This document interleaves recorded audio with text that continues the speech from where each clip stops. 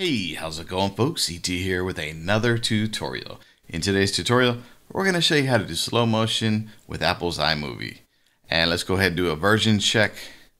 We are on version 10.1.2, so this tutorial should be good for the next year probably until they do any major changes, but we're good to go here. Let's go. Alrighty, the first thing we're going to do is actually drag a piece of video into our timeline. There we go here. Uh, I'm going to customize this a little bit so it's easier for you to see. Let's shrink that. And we're going to go to settings and increase the size of the clip here. So what I'm going to do is actually look for the part of the video where he's going to do the front flip. And we're going to make that in slow motion. So right about here. Okay, so there's several ways you can do this. You can do a cut here and then a cut at the end and then only do the slow motion on that separate clip, which I'll show you first.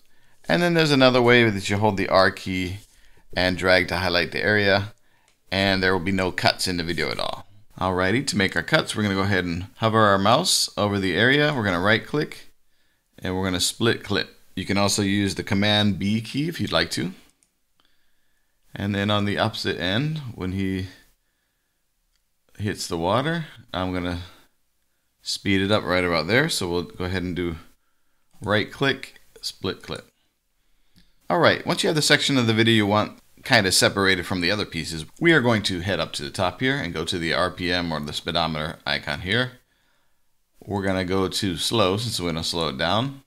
And we're going to make it at, um, let's do 50%. Let's go ahead and give it a go here. All right, so I'm going to go ahead and test it and see how it looks. Boom. Okay, so that's how you do slow motion first way. So you put a split before and after the section you want to change the speed of. You head up to your speedometer gauge, you hit slow motion, and then you decide on the percentage you want. Alright, so I'm going to undo all of this stuff here and I'll show you the second way. Hold on. Okay, in the second way, you're not going to put any cuts here. You're going to highlight a section and then you're going to put the slow motion functionality. So let's go ahead and find the area we want. Right here. I'm going to hold down the R key. You're going to drag holding your mouse down to the point where you want it to stop. So we'll let go there. And now with this area highlighted, you're going to head back up to the same area. Make sure you click on your speedometer. Going to go to slow. And we're going to put 50%.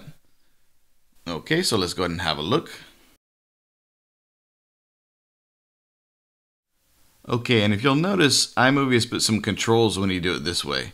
So now there's a control for before and after as well as that section here.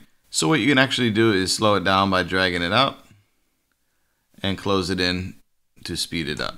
Alrighty, those are the two ways you can do slow motion in iMovie for the Mac. Thanks for watching. We'll talk to you next time. Peace and aloha.